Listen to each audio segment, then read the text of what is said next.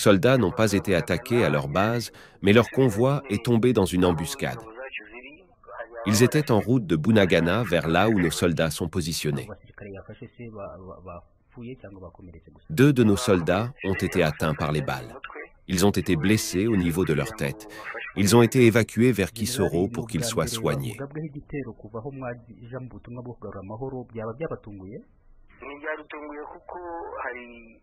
Nous n'avons pas été surpris par cette attaque car il y a des indisciplinés qui se nomment Wazalendo, Maï Maï, qui font des incursions là-bas et ceux-là ne respectent rien.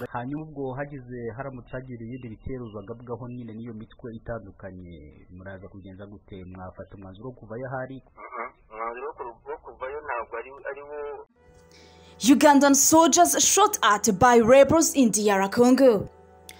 At least two Ugandan soldiers were injured in an ambush by unidentified armed men in the conflict-ridden eastern DR Congo, according to media reports. A convoy of the Uganda People's Defense Forces UPDF came under fire at around 10 a.m. on Monday, October 16th, along the Bunagana Rutshuru Road in North Kivu province.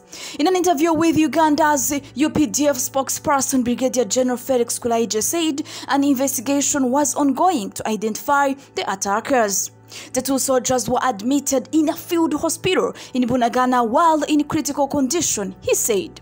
The publication said the soldiers were later transferred across the border to Kisoro Regional Referral Hospital in Uganda's Kisoro district. Of course, we responded to the attack and the rebels, who were about six in number in Banana Plantation, fled. Kulayigye was quoted as saying, Eastern DR Congo has been volatile for nearly three decades and remains home to more than 130 armed groups. In March 2023, Uganda deployed troops in the areas as part of the East of the East African Community Regional Force, which is mandated to observe the implementation of a ceasefire between DR Congo Army and the M23 rebel group. Ugandan troops occupy some areas vacated by M23 rebels. Kulayigye dismissed claims that the M23 rebels might be behind the attack. Heavy fighting resumed on October 1st between the M23 rebels and the government coalition, which including militias such as the genocidal FDLR, Maimai Nyatura, and so-called Wazalendo youth groups.